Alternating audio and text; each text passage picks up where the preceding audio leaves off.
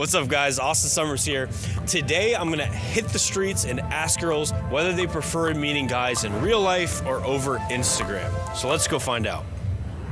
I love a good boy from a broken home. Did his balls drop yet? No? Cause like you're thirsty. I'm gonna expose his name. If you don't approach me, you're a pussy. Do you prefer a guy that approaches you in real life or slides into your DM on Instagram? Real pussy or what? fucking come up to me, you bitch. What does it mean about a guy that if he has the balls to come up to you? He has the fucking balls. A guy in your DMs has no balls. Did his balls drop yet? No? Yo, what do you think is more attractive? A guy that approaches you in real life or slides in your direct messages? Ew, I hate the DMs. That's so weird. Why is it weird? Cause like you're thirsty. Yeah. Like it's always real life. It's always real life. approaches. Why do you think that is? I mean, it just shows that they like want to put in the effort to talk to you, and like DM is like so like I don't know, it's just impersonal, impersonable. Yeah. Yeah, real life. Why do you think that is? Cause that is more legit rather than over fucking social media. What can you tell about a guy in real life that you can't tell online? I can get better vibes from a guy in real life rather than I can on online. So I can see how they feel about me, how they actually care about me Yeah. versus online. When was the last time a guy approached you? Two weeks ago at a bar. Do you think guys should approach more? Yeah. And if a guy doesn't approach, what does that mean about him? If you don't approach me, you're a pussy. Have you ever approached a guy that you like? I have, in fact. How'd you do it? I just walked over to him and said, hey, you're cute, and it worked out. And did you end up like dating him? We ended up fucking, but we didn't end up dating, but th- that was fine with me. Have you ever had a boyfriend? I have. And how did you meet your boyfriend? I introduced myself to my boyfriend. Wow. I know, wow. Dude, why don't guys need to step up too? right? Guys need to step the fuck up. Guys need to make the first move. They need to think they're not the pussy and they gotta do it. They have to do it. In real life. In real life, obviously. Why? Because if they slide in on my DMs, that means they're a coward. They're too shy. What can you tell from a guy in person that you can't tell online? I feel like they're more confident. I feel like they can't hide behind a screen. Yeah. You know? Also, their looks because they can catfish. They could be fucking 500 pounds when they say they're only 150 pounds. What about during the daytime? Do you guys ever come up and say, "Hey, shouty"? Sometimes at the gym. Yeah, at the gym. That's the biggest one, the gym. Yeah. Do they ever do it a smooth way, or is it always kind of weird?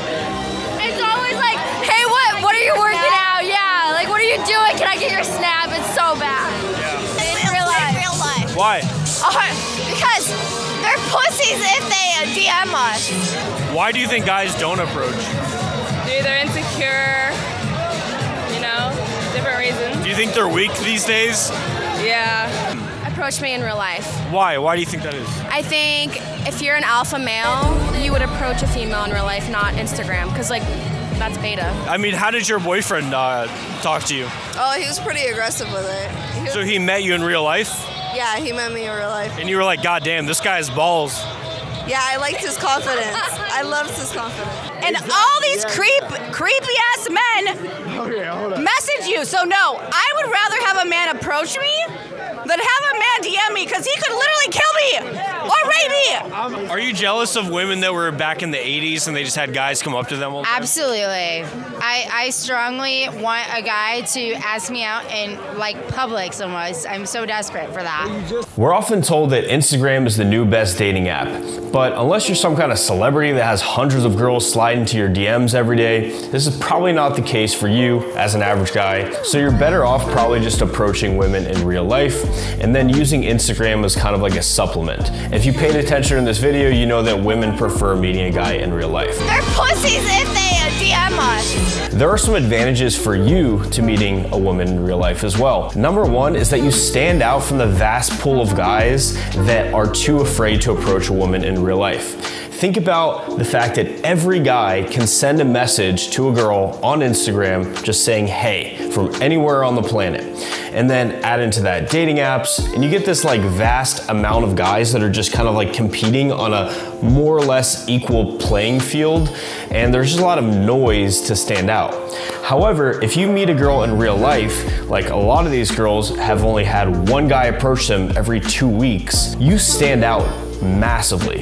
Number one, you have the social boldness and the confidence to come up and say hi, and that encodes in her brain so much more strongly than a person in a digital format in her phone. Few men approach at night fewer approach her in the daytime, and then even fewer know what they're doing at all. And if you want to learn from my decade of experience in game and coaching guys all over the world, I created the fastest sequential process for learning game ever called Game Transformation. You can find out more by tapping the link down below, gametransformation.com. And in those interactions, you can go deeper and make a real solid human connection with her that makes you stand out from the guys even further. Just ask yourself, who do you remember more?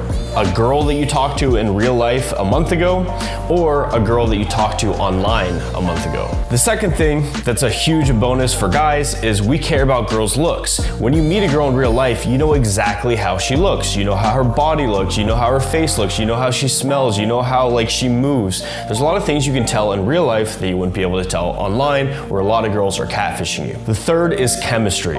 You don't want to waste weeks of your life messaging a girl only to find out in person that it is just painful to talk to her, that you don't get along, that there's like not this effortless communication between you two, and it just feels kind of forced. Well, Alice, it seems we both got autism, haven't we?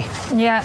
Well, that's good to know. So in real life, you can tell very quickly within a couple minutes if you and this girl have some sort of chemistry together. Eventually, once you've fucked enough girls, you want a really good quality girl to have a long-term relationship with. And a really easy filter for this is telling within the first couple minutes if you have that connection to decide whether or not you want to go further with her. So when should you use Instagram? I'm not gonna make the extreme point and say you shouldn't use it. In fact, I use Instagram and I have since 2017. But when I'm in a competitive dating market like the US or Europe, what I do is I use a mixed approach. So basically, I approach the girl in real life and then I use Instagram as a way to maintain that passive attraction and comfort. So when they're watching my stories, when they're exploring my feed, when they're kind of investigating who my friends are, it kind of builds that attraction over time, builds some more comfort so they feel more comfortable meeting up with me on the actual date. And then when I'm in an easy dating market like South America or Asia, what I'll do is I will use Instagram and couple that with ads and creative content, and I will promote those things in a way that I get an insane response so I'd be dumb to not use Instagram as my primary source in those places. With a couple of button pushes, I can get tens to hundreds of thousands of women in the city knowing who I am and get hundreds of messages within a few hours. These are things that you cannot do in real life. Like I can't clone myself 500 times and then send versions of myself out into the city to collect contact information and have girls message me.